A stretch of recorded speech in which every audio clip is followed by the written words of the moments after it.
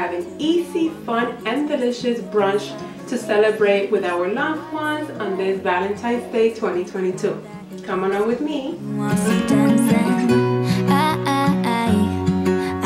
What I like to do to make the process easier and less time consuming is do as much of the work prep the day before.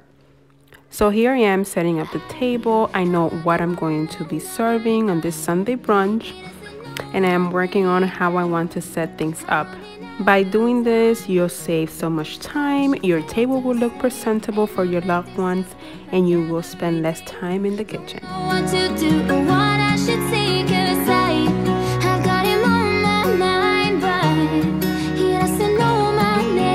For my dinnerware, I want to keep it simple as we have so much going on on the center of the table.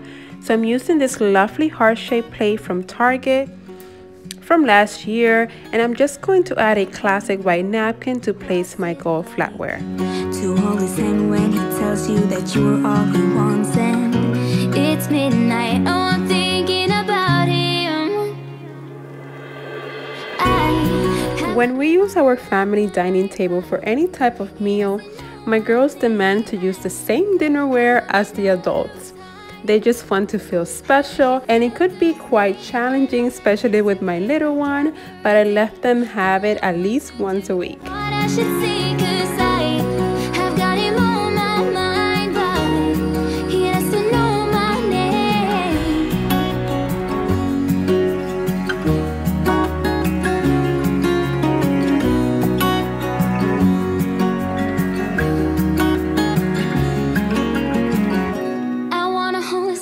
If you are new to my channel, welcome. My name is Cindy. I love home decor, home organization, love family gathering, and make it as special and memorable as possible. Love to share my recipes with all of you. I will be honored if you subscribe, like, and share this video. For those of you that are part of this community, thank you from the bottom of my heart for being here.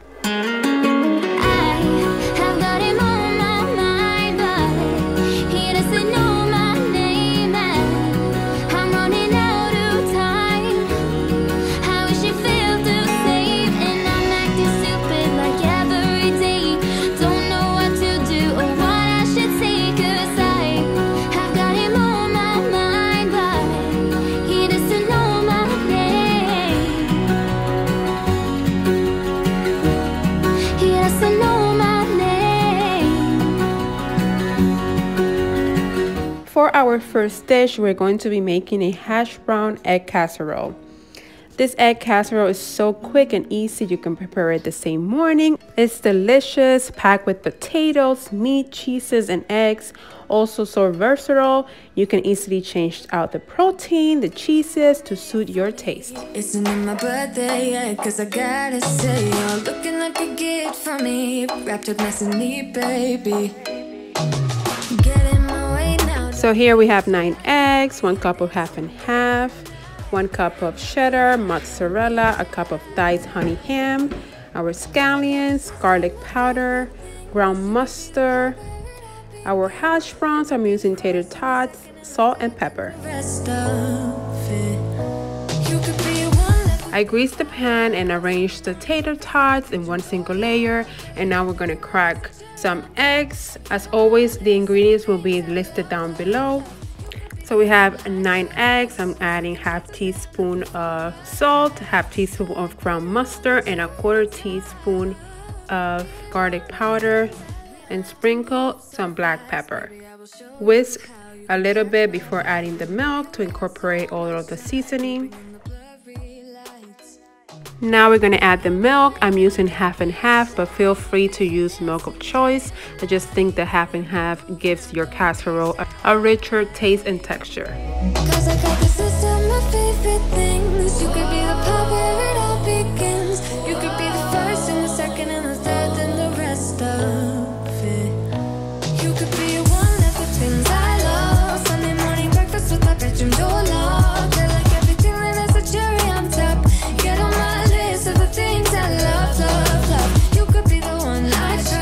Now that we sprinkle all that goodness, we're going to add our batter. Let's try to pour it evenly. We are going to cover it and we're going to bake at 350 degrees for 25 minutes.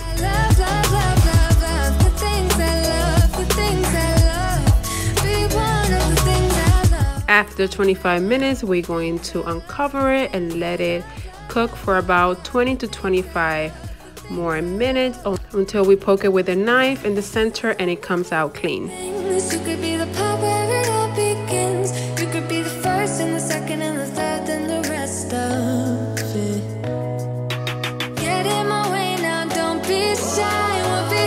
Next up is delicious French toast. This is a classic recipe and so easy to make.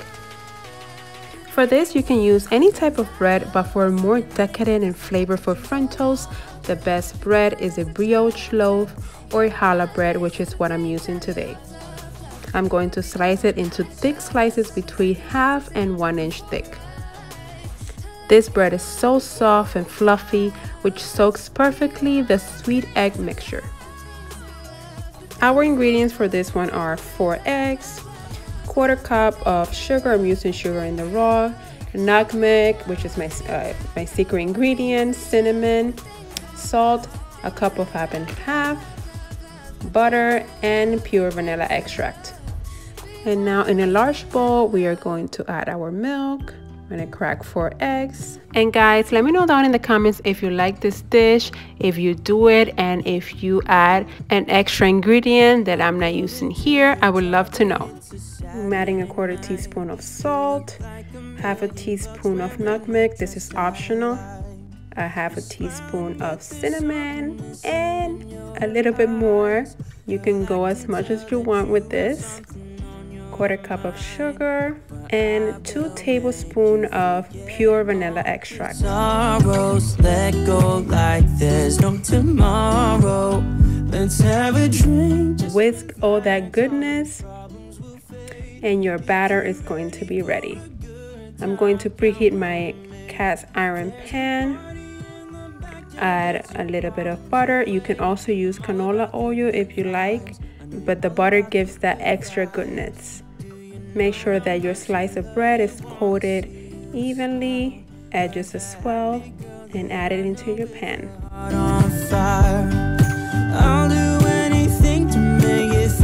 Cook this three minutes or so until our until it's golden brown on both sides.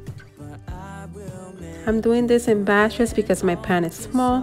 One tip is in between batches, wipe off your pan to clean that dark excess of butter so it won't darken your toast before it's cooked. The result for this dish is a soft, buttery, sweet inside and pleasantly crispy on the outside all about the good vibes. I know you're all about the good vibes.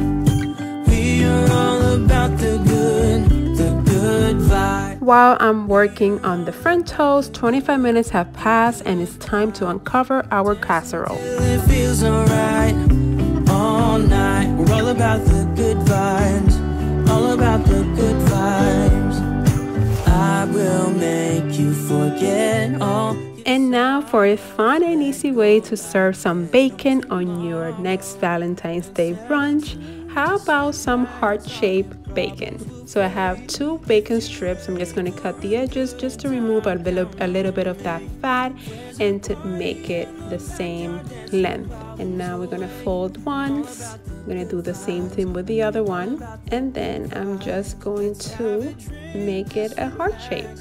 As simple as that, you guys. I'm going to transfer the bacon into this rack and, and cover the pan with aluminum foil so all that grease will fall there and will not soak our bacon. This is going to go in the oven on 400 degrees until nice and crunchy. We are all about the good, the good times. Dance until it feels alright. All night, Another easy way to add variety on your table. I love the idea of a yogurt parfait station. It's yummy, refreshing, and you can add a variety of toppings to make it interesting, colorful, and delicious. You can't go wrong with vanilla flavor, so today I'm using vanilla Greek yogurt.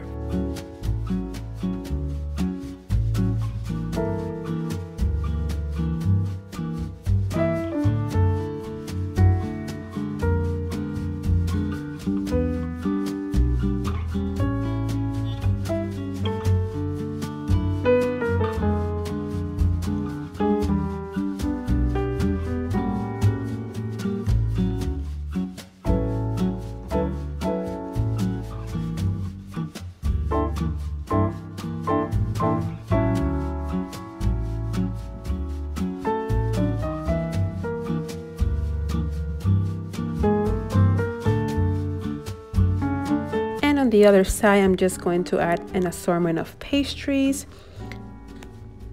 some donuts, and some cupcakes for my girls, and also some beautiful and delicious heart-shaped macaroons. And trust me, these goodies make the brunch extra sweet and makes it to last longer while we are talking and enjoying our meal with each other. There's always time for some great desserts.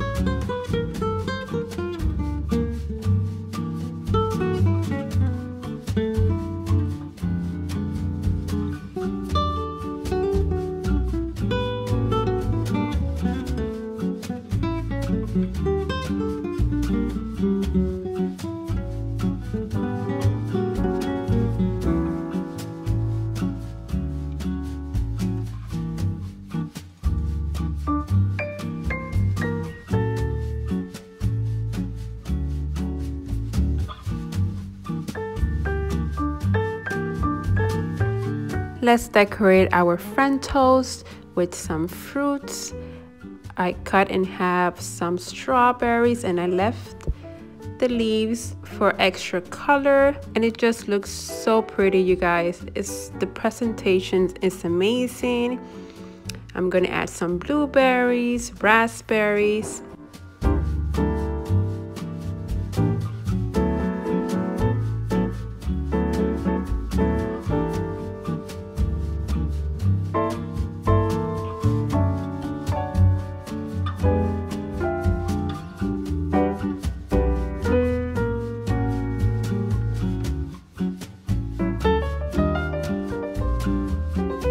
Let's top it all with some powdered sugar and maple syrup.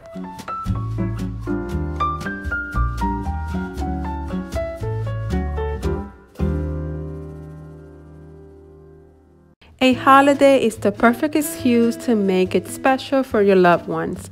Wishing you a happy Valentine's Day. Remember, this is only one day, but we still have 364 days to spread love. I have a passion to create, decorate, and entertain in style. And my phrase of all times is, it's all in the details. If you like this video, don't forget to subscribe, comment, and share. And if you recreate any of these recipes, please tag me on Instagram. God bless you, and I will see you guys in the next one.